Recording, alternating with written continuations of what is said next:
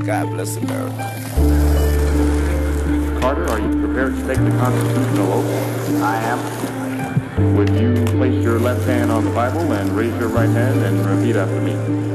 I, President Carter, Pres- President Carter, President Carter, Pres- President Carter, President Carter, Pres- President Carter, President Carter, Pres- President Carter. Sitting on the world, I got life in my hand. So these days I try to think twice when I can.